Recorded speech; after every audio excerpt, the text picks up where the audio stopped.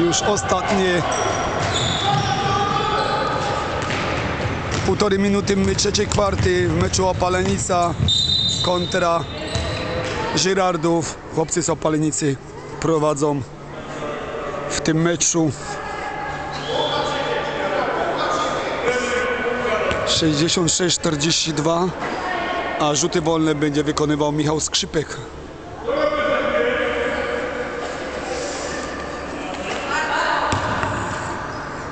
Michał Skrzypek, rzuty wolne.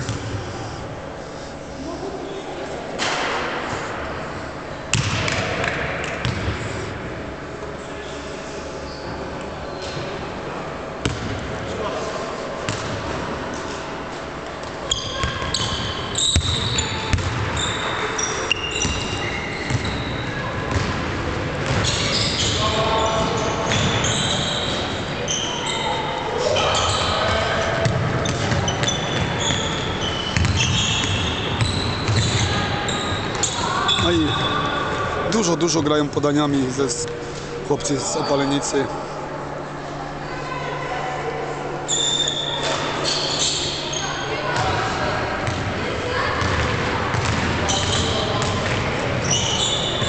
I kolejne punkty najlepszego strzelca z Girardowa. Gruza Hubert. Ponad 70 punktów w tym turnieju, ale najlepiej punktujący jest właśnie ten zawodnik. Грушинський.